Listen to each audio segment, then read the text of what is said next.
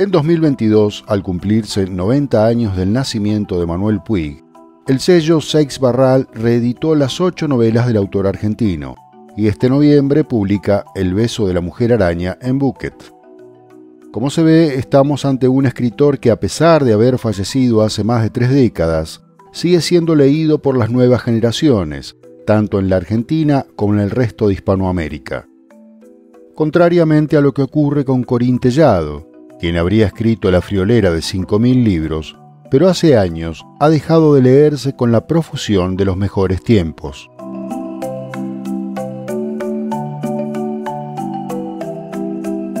La mención a la prolífica autora española de novelitas y relatos románticos, relacionándola con Puig, viene a cuento por una anécdota que involucra a Mario Vargas Llosa.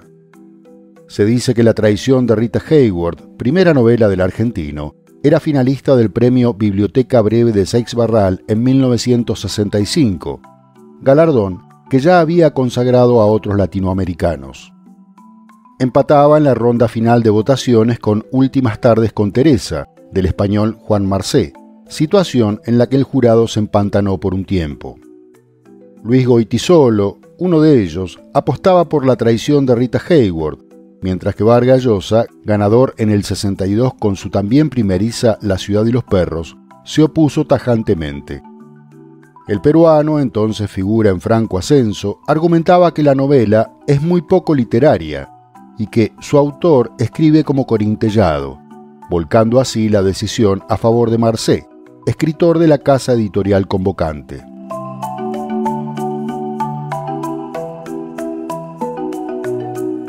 Finalmente, el debut editorial del autor nacido el 28 de diciembre de 1932 se produce más tarde y en Buenos Aires. El sello Jorge Álvarez publica La traición de Rita Hayward en 1968. Se trata de una historia semi-autobiográfica que transcurre en un pequeño pueblo argentino para seguir la vida de Toto, joven sensible y soñador, en relación a su familia y su entorno. Toto, que se sabe diferente al resto, encuentra escape a lo cotidiano por medio de las películas de Hollywood, especialmente las protagonizadas por la mítica Rita Hayward. Utilizando un lenguaje coloquial y profundamente evocador, con diálogos y edición de estilos cinematográficos, Puig aborda en esta novela un tema clave en toda su narrativa, la búsqueda de la identidad.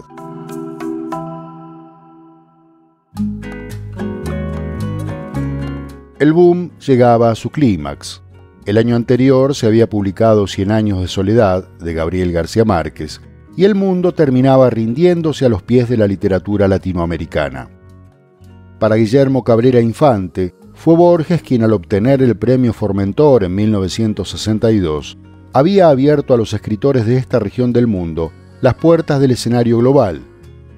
No obstante, se considera la aparición de La ciudad y los perros en 1963, como hito fundacional de la corriente, entre artística y comercial, que recién languideció entrados los 80. Movimiento motorizado desde España, vale advertir, que sin proponérselo revalidó autores de generaciones anteriores como el propio Borges y sobre todo el genial mexicano Juan Rulfo. Juan Carlos Sonetti, Miguel Ángel Asturias, Alejo Carpentier, Ernesto Sábato y el venezolano Arturo Uslar Pietri, quien forjó el concepto realismo mágico, entre otros, también se vieron envueltos en la vorágine del boom.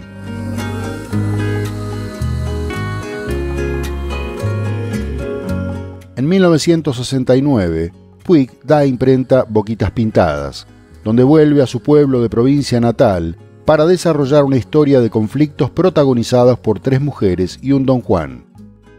Diálogos, cartas, diarios íntimos, rumores y publicaciones de diversa índole estructuran este folletín, como lo definiera su autor, que se desglosa en episodios precedidos por versos de tangos y boleros. Los lazos afectivos, los amores y desamores, el deseo, la traición, la muerte y las expectativas y tensiones sociales son los temas esenciales de esta novela que destaca por su narrativa única, íntima y profunda. Estamos ante el primer gran éxito editorial de Puig, con el que acaba por definir su estilo literario, que en 1974 será llevado al cine por Leopoldo Torre Nilsson, con guion del director y del propio Puig.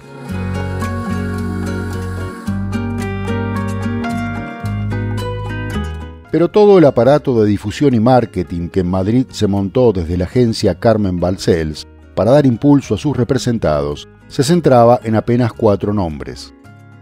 Ellos eran el colombiano García Márquez, el peruano Mario Vargallosa, el mexicano Carlos Fuentes y el argentino Julio Cortázar, latinoamericanos que residían en Europa, momentánea o permanentemente. Todos hombres muy varoniles a los cuales se rodeó de un halo de masculinidad indudable e intachable, que iba más allá de la calidad intrínseca de sus obras, a fin de hacerlos más atractivos al lector medio.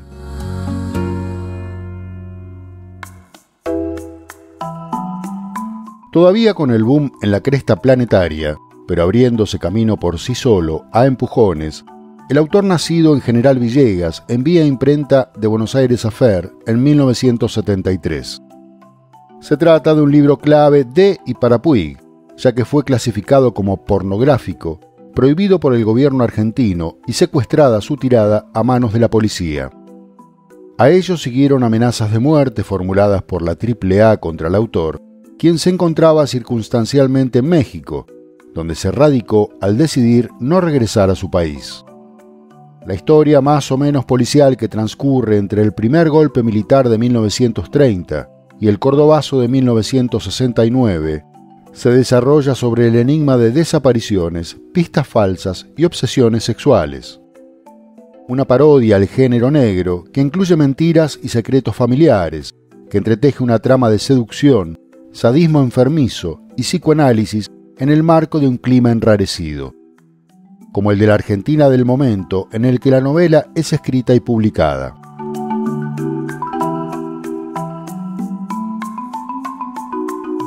Nada tenía que hacer este escritor prohibido, acusado de pornógrafo, con ademanes algo afeminados que escribía como Corín Tellado, entre esa clase privilegiada de escritores poco representativos, según los clasificó Mario Benedetti. Los del boom eran estrellas del mundo editorial e íconos de masculinidad que en entrevistas para medios gráficos, radio y televisión irradiaban testosterona por sus cuatro lados. De modo que ni Manuel Puig ni Severo Sarduy, otro marginado por su sexualidad, pudieron acceder por derecho propio al férreo canon que dictaba la época.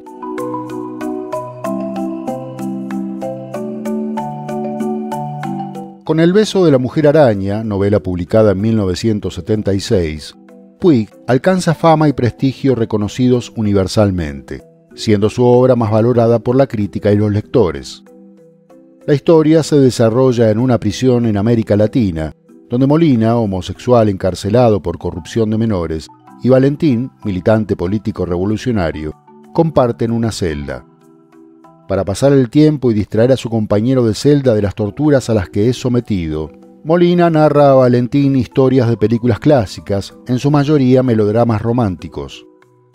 La relación entre ambos va evolucionando y revelando las contradicciones de estos complejos personajes, con hincapié en la política y la sexualidad.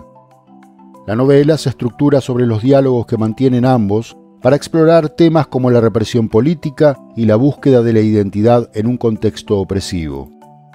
La mezcla de elementos cinematográficos y la profundidad psicológica de los personajes hacen del beso de la mujer araña una obra distintiva y memorable. Con gran éxito fue llevada al cine en 1985 por Héctor Babenco, protagonizada por William Hurt y Raúl Juliá, y el diario español El Mundo la incluye en la lista de 100 mejores novelas en castellano del siglo XX.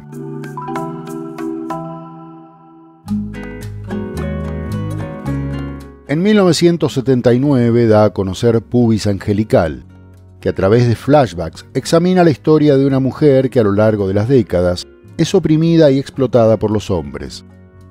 Al año siguiente aparece Maldición Eterna quien lea estas páginas, en la que Puig se sirve de escenas de la vida cotidiana en los Estados Unidos para explorar nuevamente temas como la soledad y la política.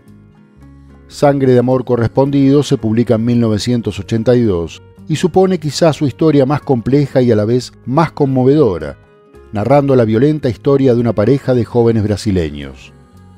Un relato de miseria moral y material, de sexo desenfrenado y de machismo, que penetran el alma humana y revela su naturaleza salvaje.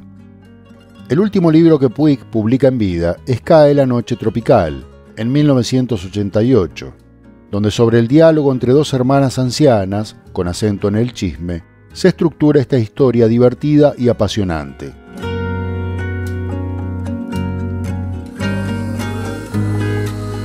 A pesar del éxito de público obtenido, del reconocimiento ganado entre algunos sectores de la crítica y varios colegas, por muchos años Puig seguirá siendo un marginal del establishment literario.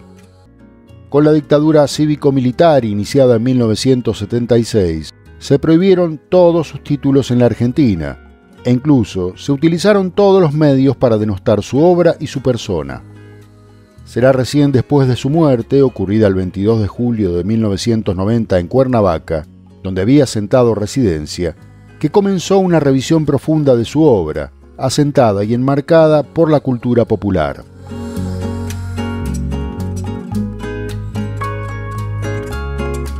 En 2001, cuando había pasado mucha agua bajo el puente, Vargas Llosa supo reconocer algunos méritos en la obra de Puig, para despacharse inmediatamente con todo tipo de diatribas.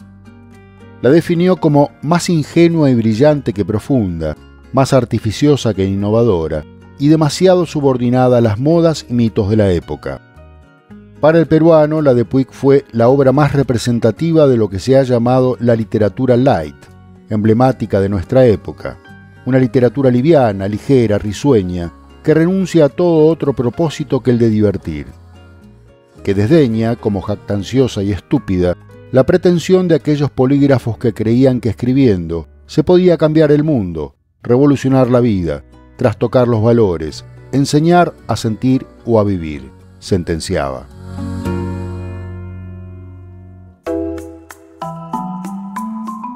El propio Borges, por cierto, tampoco mostraba demasiadas simpatías por Puig o Sarduy, con quienes llegó a compartir cenas en casa de Bioy a principios de la década de 1970. El autor de La invención de Morel dice que a Borges le fue leída la novela Cobra de Sarduy pero no aguantaría la lectura de esa lisa y llana historia de un maricón.